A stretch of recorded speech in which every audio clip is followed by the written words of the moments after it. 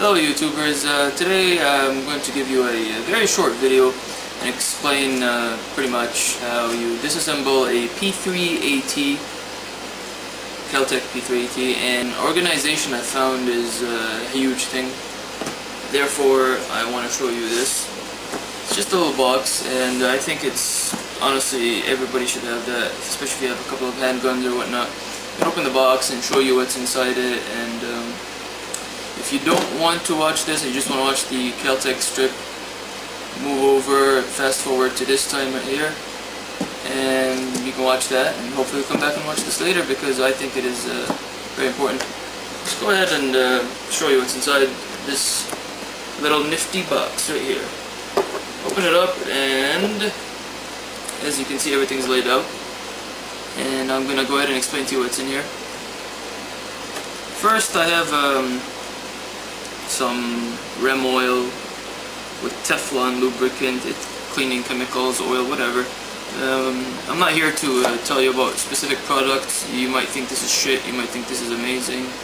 It's all uh, nice and dandy. You use whatever you want. Uh, the whole point is I'm telling you what I have in here and you know what you should have in there as well. So first thing you should have in here is a little can, something that will fit in your box of solvents or chemicals, cleaning, uh, diesel oil, whatever you whatever you use to um, clean your gun and lube it. Second thing I have in here, which I think is important when I'm wearing gloves, always wear gloves. Don't get any of that nasty stuff and lead residue and whatever you use on your fingers. So in a little Ziploc bag, I have these latex-free gloves that I got from AutoZone. Pretty cheap. They honestly they they work wonders. Uh, third thing I have in here is my cleaning rod. Notice I don't have the, the long attachment because this is my handgun cleaning box. And uh, I got my um, cleaning rod here and the, um, the handle for it. Um, some uh, some people like to use the T-handle because you can actually grab it. I mean, like I said, uh, nothing specific as far as uh, products or brand names, but use whatever you're comfortable with. Um, third thing I have here is a little casing. Inside, I don't know how well you can see, but let's move this here. Inside, I'll start with what I have here is I have these little pairs of scissors. They're very nifty, very little, and they're very sharp. I mean, I could use them. I can't even begin to tell you. You know, you're cleaning your gun and you wanna you wanna cut your bore patches or resize them. I mean, it's it's something indispensable that you need. Moving on, um, I have here my brass. My brass bore jag. And um, these jags are brass. I don't like the plastic ones. Uh, I, I feel they're flimsy. So per your caliber of your gun, you know, get some uh, brass um, jags. Also have some uh, bore mops. I like them at the end right before I uh, put a thin layer of oil. Just make sure everything's out of there that's left. Q-tips. Get some Q-tips, not the flimsy ones that will end up spiking and looking like Elvis Presley's hair after you're done with it. And last, but definitely not least, you got your bore brushes. Again, caliber specific to your gun. If you want, if you use chamber brush brushes instead, then use your chamber brushes. But that's what I have in this case right here. I have this little blue case right here, and inside I have uh, different size um, bore patches. Again, that's why I have the scissors. You want them bigger, you want them smaller, you can use them some napkins, and uh, this is just a cleaning kit that came with my AK-47. Uh, it's in the, or the AKM. I don't want these uh, AK-47, AKM uh, fanatics and fanboys to uh, correct me on this. But I have a bump fire stock on it, so I just toss it in here now. And all in, in a nutshell, that's what uh, I have in my um, my cleaning box. And to be honest with you, most of the time I used to be uh, too lazy to clean my gun or whatever, but honestly, this thing right here is, I love it. I mean, you just grab it. You don't have to go here to grab this and over there to grab that. You just grab this, open it, clean your gun, done. It's, try it and I guarantee you, you will you'll clean your gun more, more often and you actually have fun cleaning it. Okay, moving on to what this video was originally about is my Keltec P3AT. Here it is. Good old Keltec P3AT. Um, I'm not here again to talk about uh, different calibers and oh this is too weak and the 22 is too weak and the 45 ACP and the 45 Colt is better. I'm not here to talk about that. I don't care who you are. If I put a couple of these in someone, they're not going to be happy and that's all I care about. I'm not looking to drop an elephant. I carry this on personal protection. Um, I even with the extended mag here that I'll show you in a minute, I can carry concealed and I have a problem with it and the fact that it's a 380 auto is more than enough for me and if you would be okay with getting shot with a 380 then hey, good for you but I wouldn't so this gun does its job for me and I'm happy with it first I want to show you obviously first thing you gotta do is clear your gun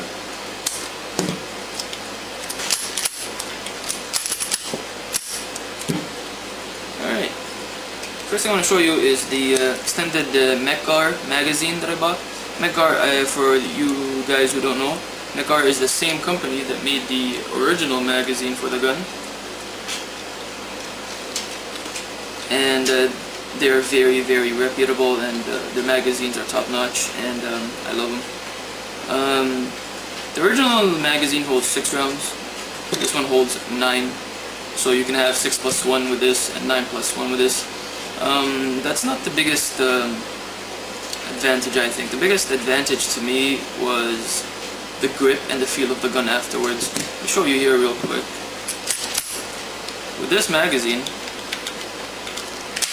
when you grab the gun, see how you only have two fingers? So I'd end up after a couple of shots having to, like, I'd go pow pow pow and then I'd, I'd have to, you know, re-grab the gun and all that. But the biggest advantage with this one now is when I grab it, I got all three fingers on it, and you can actually have a very nice grip and very stable. So very well made magazine, and uh, I recommend if you have this gun and you carry it a lot and you actually enjoy this gun, get it, it would, you'll actually enjoy the gun even more. Next thing I got was a uh, Crimson Trace uh, laser right here. I got it at a gun show, pretty cheap. I got it for like around $50. Uh, I think if you go to the website they go for around two or three hundred. Uh, I'm not sure, to be honest, exactly what it is. But this laser um, allowed me to shoot very, very accurately. At about 10 feet with this laser I could uh, shoot um, the caps off Pepsi bottles, just the caps alone. Here, see. And uh, I don't have, you know, to close one eye and look down the iron sights anymore. The, the laser alone was pretty accurate. Um, get one of your bullets, slide the, pull the slide back. There's a couple of ways to do it. You can either hold it like this. I, I like, what I do is I pull the slide back and I put my finger right here in the middle. I don't know how well you can see. Just like that and I hold it open. Uh, I'm going to try to do it this way, that way you guys can see. I might fumble a little bit because I'm not used to doing it like this, I'm just doing it like that. So, you pull the slide back, and you hold it open, okay? And right here you have a little pin, right there. And you slide your rim of the bullet under it, and you just pop it up. Very simple. Let the slide back nice and easy. Pull your pin out. Don't lose it. Put it somewhere. Now push your whole slide forward and pull it out. Here's your frame. Put your frame aside. Now here's the here's your slide basically, and um, first thing you gotta do is take your guide rod out with your springs. So over here, your guide rod is uh, held a little notch right there. That little notch is what holds the guide rod and springs in place. So what you gotta do is push it forward with your thumb and make sure it doesn't fly off. Up and there goes your uh, your, uh, your uh, guide rod. Pull your guide rod with the two springs aside. Pull your chamber out. Like so. Here goes your chamber. And that's pretty much it. Take your guide rod and the springs out. And here you go. You have all your parts now. You have your uh, your pin, you have your frame, you have your magazines, you have your chain, and uh, your slide. Everybody has their own way of cleaning it. Um, I'm not gonna tell you what to do, what to grease, and you know, just go ahead and clean the slide. It gets dirty sometimes. Just to show you, I'm just gonna run my finger right here, and it's already black basically. Try to clean, especially lube the area where the uh, where the tip of your chamber meets the, uh, the slide right here. Try to clean that right here, basically. lube it look down in your chamber, make sure it's clean.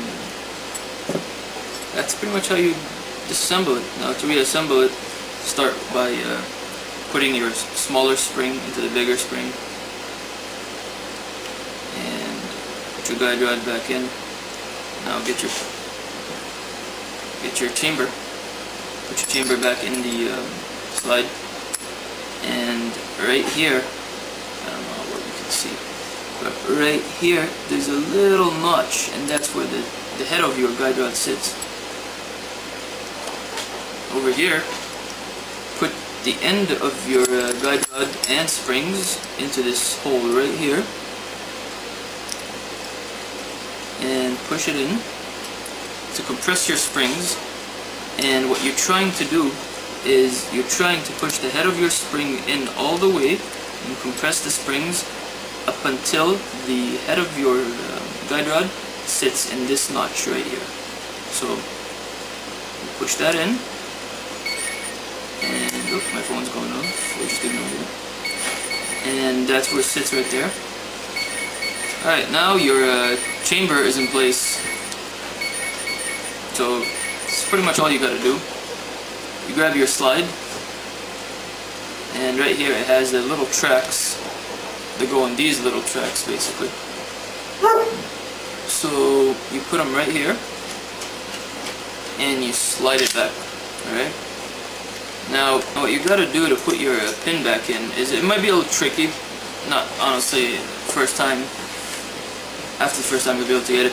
If, if your slide is in the rest position and you try to put your um, pin in, it, see it kind of goes in halfway but you won't be able to push it in.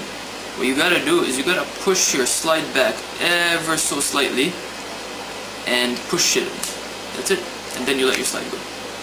And that's that's all you gotta do. Once it's in, make sure it functions, make sure everything's fine.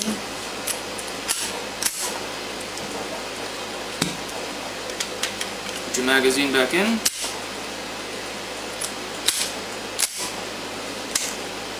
Test it out, make sure it ejects the bullet, which it does, and you are done.